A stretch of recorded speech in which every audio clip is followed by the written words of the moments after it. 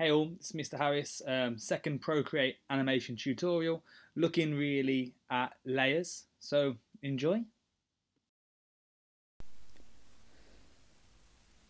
Open Procreate, I've got a little character here, I've drawn it the wrong way around. Um, if you do draw the wrong way around, what you can do, just use the arrow tool, and then use your green as your rotate. And let's say I'm going to set this up as a animation again. So I'll go back into my canvas, animation assist, perfect. Now let's say that I add a frame, um, but I want the, the background to be blue. Now I'm going to find a difficulty if I keep colouring the background in blue because every time I create a new frame, let me choose a nice sky blue. If I put it in blue and I add a new frame, let's um, duplicate this one. Every time I erase this fella, um, I'm going to be erasing the background as well, and I'm going to be having to colour in the background every single time. So what I'm going to do instead is um, if I have a blue background, I can drag it to the back, and then when I select my frame down at the bottom, I can actually set it as a background. So when I add a new frame, and you know whatever I draw, let's say I draw his head getting larger. There you go. As I play, the background remains. And what's great is you can also do this with a foreground as well. Let's say I wanted to be standing on some grass, although I could do that as a background. Um, what I can do is if I draw a little line of grass there, and I click and I select it as a foreground, no matter what happens, my background and my foreground is going to remain. So that's a really important thing, backgrounds and foregrounds. Another thing you can do in Procreate, which is really great, is create sublayers. So in this frame, let's say um, I want this guy's, I don't know, arm to move independently.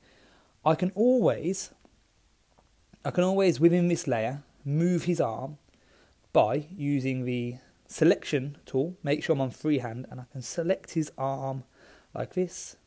Go back to my arrow and then I can move his arm and that's great um, in one respect. Oh, it's difficult because it's a thin layer. It doesn't want me to. There you are. That's great in one respect. If I just press play now, you can see his arm raises slightly. Um, the, the issue here, though, is that next time I raise his arm, let's duplicate this one, select his arm again. If it crosses any other body part, it's going to become more difficult to then edit it because it's still on the same layer. You can see if I move it down again, it's taken some of that body with him. I'll delete that one. So you can see how his arm raises, but the, body's never going to marry up. It's never going to be perfect. So what you can do, if I just um, double click undo all of these layers until I've just got his arm there, I'm going to remove this one again. Um, what I can do is I can create a new frame and then drag it and hold it into the actual frame. I'll go on to the original one. I'm going to rub out his arm. There we are. And if I click on this new layer, I can then draw his arm independent of his body. So when it comes to duplicating this, on the next layer, exactly the same again, I can rotate the arm. And if I duplicate again, I can make sure you're on the right layer as well. Rotate the arm once again. So when I click play, you can see this is having no adverse effect actually on his head whatsoever.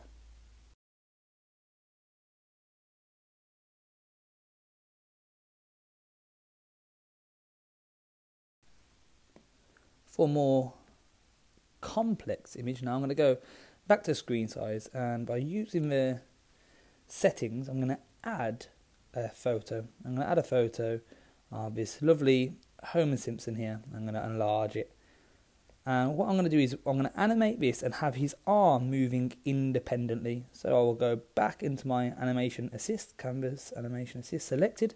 And what I will do is I will actually select his forearm and the donut with this selection tool, like so. I'm going to copy and paste. Now, naturally, that's put it into a new frame, um, but I want this all part of the same frame, but two layers. So I'm going to select, drag, and drop within that same layer. I'm going to hide that for a second, and I can actually still see that um, I've got Homer here without like he's got two arms, and I, I, want the first arm, the original arm, removed. So I'm gonna just go into my eraser tool. I'm gonna raise his arm up to where the donut is. I think around about here. I can see if it's correct. Yep, I don't think I've lost anything. Wonderful. So what I'm going to do is I'm going to duplicate this. Then I can click on the arm and let's say, actually I'm going to go on the original layer, sorry, the original one, and have the arm rotate away from him. Now of course this might still require a little bit of, um, you know, editing just to make it perfect. Let's try it again. You can see there that Homer's original arm, I'm just going to um, rub that out and recreate it. Maybe I'm going to do that is if I click and hold on a colour, I can actually select that colour there. And I, I know that the actual arm is going to be, or the, the outline is going to be black. A little bit too black really, but this is just for illustration purposes. There we are, I think that's better. Anyway, zoom out, no one will know. And there, if I duplicate this layer, I can have the donut edging ever closer towards his mouth. And if I line that up, great. So when I click play, there we are, animating Homer Simpson.